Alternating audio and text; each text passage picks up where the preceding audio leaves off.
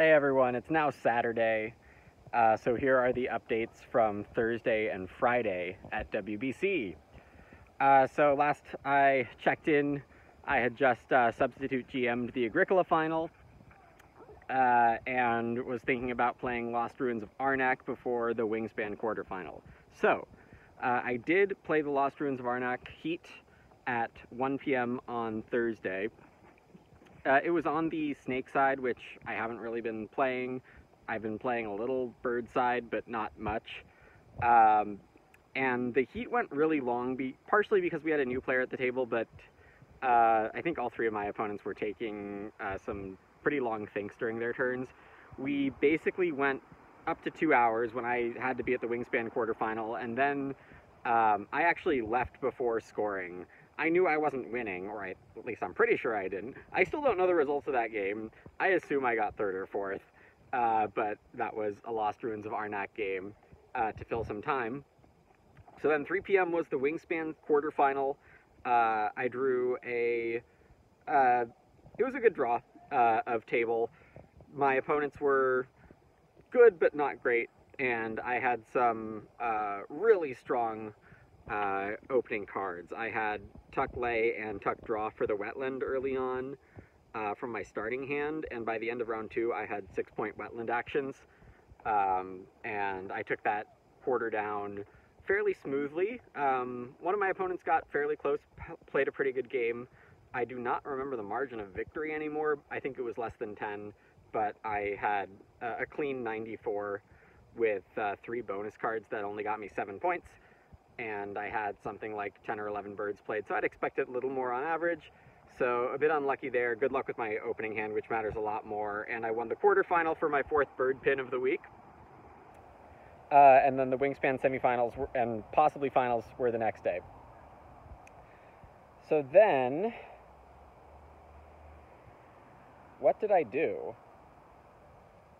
Yeah, I have this break on my schedule from 5 to 8 and I did not do any scheduled gaming. I do not remember. So I'm going to assume I was open gaming. Yes, no, I definitely was open gaming uh, and got dinner. Yeah, that's what I did. Played some Cascadia practice for the playoffs the next day. Uh, maybe played Azul also. Maybe also played some Ricochet robots in open gaming. Um, then at 8 p.m. was the Terraforming Mars quarterfinal. Um, we had eight tables and 25 quarterfinalists. So, um, so, well, we had 25 quarterfinalists that didn't get a bye. And I think seven players did get a bye. And they had nine, uh, 25 people show up. So what they did was they made seven three player games and one four player game, advanced the winner of all games and the second place from the four player game. Um, I not only drew a good table in terms of uh, opponent experience level, but I also drew the four player table. Um, I played Tharsis instead of CrediCor, which is, you know, a bit of a sketchy decision. We played Prelude Venus with no colonies because my opponents wanted all wanted colonies out. Um, and I played not great, but with uh, with not the biggest Mars challenge I've ever had. I scored a 72 in like eight gens, and uh, got second place by two. So luck was definitely on my side for the Mars quarterfinal, but I did make the semifinal, which now means um, I've made the last four semi uh, semifinals, or I've made the semifinals in the last four Mars tournaments I've played, and each of those has had over 100 players. So that's pretty cool uh, even though, you know, I didn't plan on playing it. So that game took about three hours, so it was 11 p.m., and I went home. All right, so that brings us to Friday yesterday, and we look at the possible schedule for Friday. I get a bye through the Cascadia quarterfinal at 9, so I don't have to show up until 11 for the Cascadia semifinal. If I win the Cascadia semifinal, I have the final for Cascadia at 11 p.m. Um, at 1 p.m., so two hours after the Cascadia semi, I have the Wingspan semi. If I win the Wingspan semi, there's an immediate Wingspan final uh, at 3.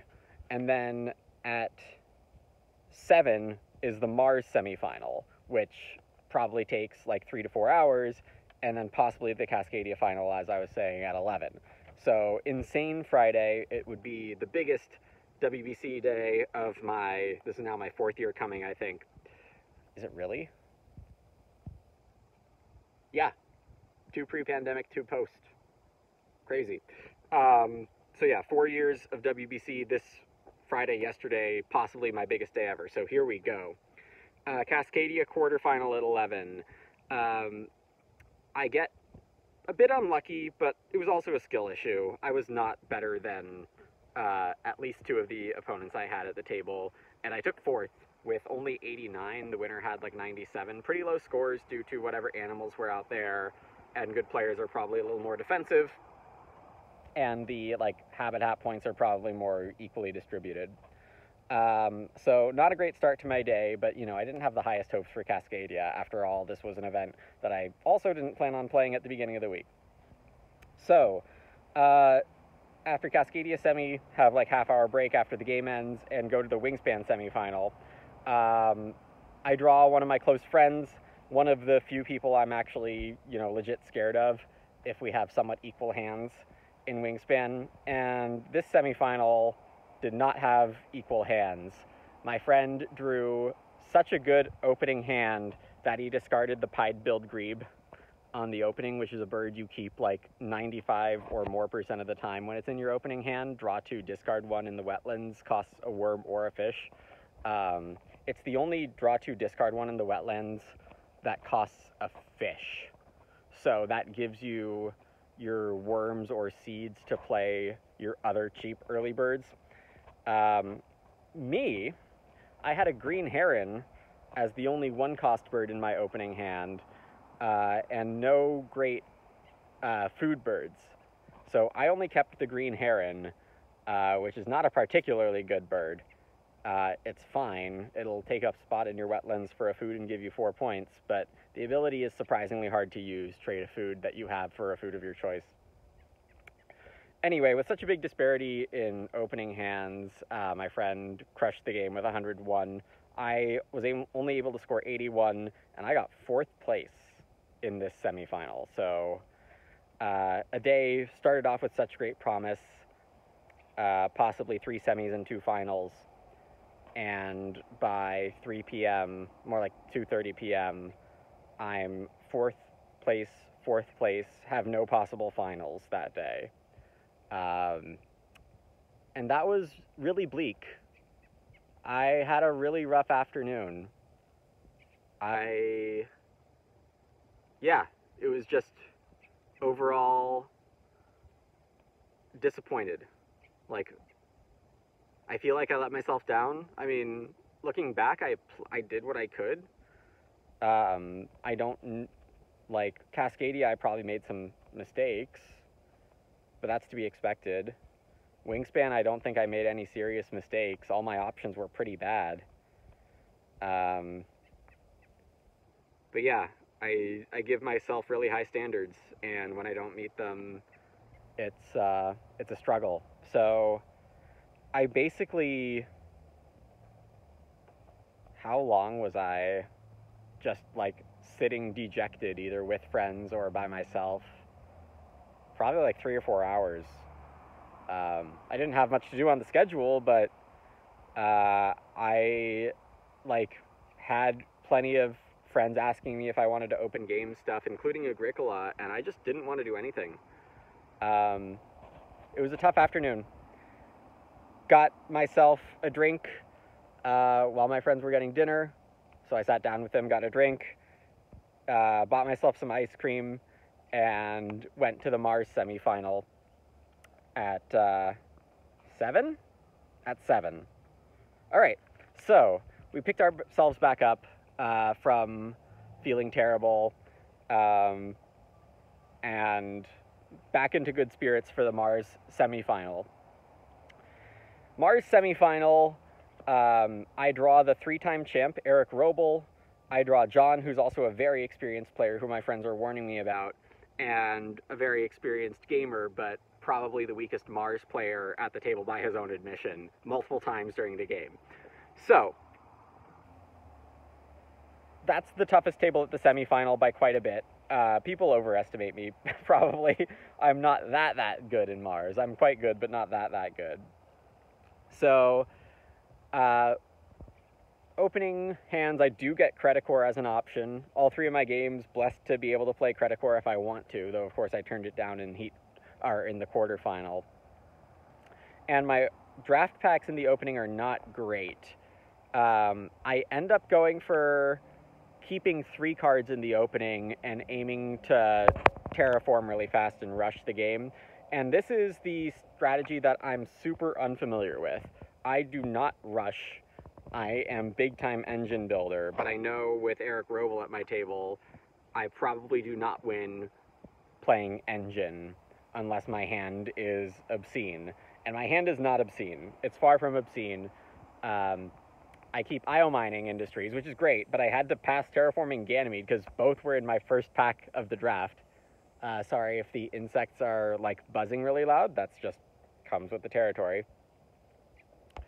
Um, so yeah, IO mining industries.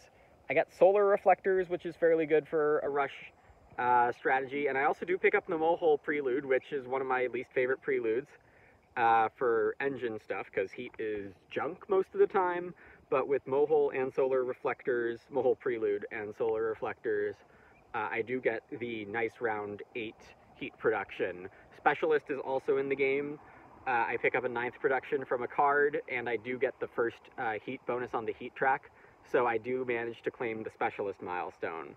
Um, unfortunately, the milestones and awards overall were not great for a rushing strategy, so it was still an uphill battle. I do what I can. Um, I do get some good mid game draws. We had a bunch of oceans early on, and I got like a third round, third generation algae played, which was really nice. I drew kelp farming in the mid game and uh, when all oceans were played, so I got like two or three rounds out of kelp farming. Um, probably three. Yeah, I'm pretty sure it was three. Um, I do get standard technology, second to last generation, and I milk that for like uh, 18 bucks or something like that by the end of the game. Uh, and I do force the end of the game. However, I only score like 69, I think. Nice under 70. Um, my board play is nowhere near good enough. Um, and that's just something I need to work on overall. Uh, I usually have weaker boards than I should. But, you know, not super duper in practice these days. So Eric Roble scores 79. John has a bad game. He draws fourth seat. There's only one good colony in the game, and it's Triton. He doesn't get onto it. Um, his opening draws were also not great, if I recall, and wasn't really able to dig himself out of the fourth seat hole. He ends at 62. Now, Ricky, the other player in the game, the least experienced player, uh, or maybe least skilled, he's probably got a couple hundreds of Mars games under his belt. Uh, he scores 81.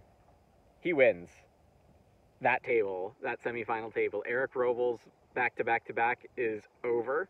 No four time repeat for him because Ricky wins the table with 81, uh, silently uh, tying on a milestone or tying on an award, not being virused at the end of the game because the attack was thrown at me instead to cost me like two points. Uh, he doesn't have a milestone, but he has super efficient board with like four cities for 12 points and like six greeneries, respectable, good stuff. Uh, he gets enough card points, and uh, that's my Mars semifinal, third place. So my Big Friday, fourth, fourth, third, uh, with a lot of sadness in in between definitely a day I'll learn from. Um, in retrospect, I came into the day uh, way too hyped with too high standards, with fun not being my goal. And uh, that is something I need to change next time I have one of these big days. Um, that is actually kind of true today. My overall convention result is on the line today. We have Space Base Uh, Space Base, the event I was so hyped for last year. I'm not feeling quite as excited for it this year, but I should. Um, I haven't been practicing much, but I am not that rusty. Like, I still remember all the strategies, I'm pretty sure. I'm still, like, plenty aware of what other people are doing. Not that it is that big of a difference. So, um, yeah, we hope for the best today in Space Base. Two heats, one of which already happened, but I'll include that in the next update. Um, I will have some time to do an update between leaving the convention tomorrow and my flight home. So um, that's that. And I will make sure to uh, have that update uh, for all of Saturday and uh, if I play anything at the con on Sunday morning tomorrow. So that's the Thursday and Friday WBC update. Um, my only laurels so far are three can't stop laurels, which is hilarious and awesome, but also three would be my lowest laurel count of any WBC year. And there is a bit of me that holds myself to these high standards when it comes to gaming and success. Uh, overall, I do feel like